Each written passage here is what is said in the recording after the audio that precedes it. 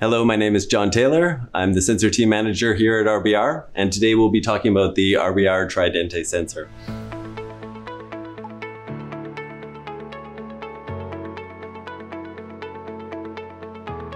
The RBR Tridente is a three-channel optical sensor capable of making multiple fluorescence and backscatter measurements simultaneously. Its high dynamic range permits exposure to full sun with very low detection limits. The power consumption and depth rating has been tailored for use in a wide variety of applications. Having three optical sensors in one package is convenient for physical integration, reducing power consumption, and can be more cost effective.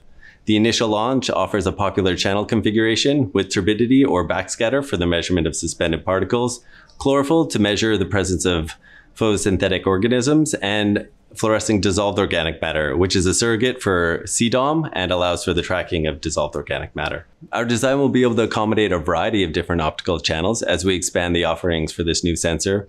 The sensor has been designed to have a high dynamic range, making it suitable for open ocean as well as coastal and freshwater applications. We paid special attention to constructing in a manner so that the optical geometry is well defined and the materials can support a wide range of wavelengths. The unit is constructed out of titanium, making it immune to corrosion and suitable for long-term and deep applications. The window material can transmit ultraviolet light without fluorescing and without changing the optical properties over time.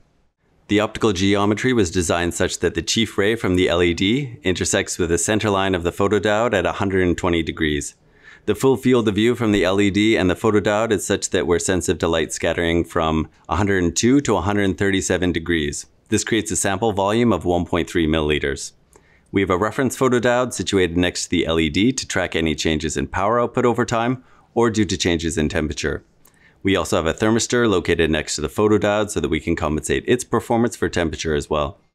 We have filters in front of the photodiode to select for the wavelengths that we are interested in, and a filter in front of the LED to reject any out-of-band wavelengths if they are present. We also measure the ambient light when the LED is not on so that we can remove that signal, ensuring that our measurement is not being contaminated by any external light sources. The sensor streams calibrated data via RS-232 through the 6-pin MCBH connector and can accept a wide range of voltages from 4.5 to 30 volts. When sampling continuously at rates up to 32 Hz, the RBR Tridente uses 384 milliwatts of power. Sampling infrequently, at rates slower than 4 Hz, only 20 millijoules of energy are used per sample. This is an order of magnitude better than any other sensor on the market with an equivalent limit of detection. It can easily be integrated onto a logger as we've done here with an RBR Maestro, and we've created a variant that can be easily integrated onto vehicles. For more information on the RBR Tridente or any of our other products, please check out our website at rbr-global.com.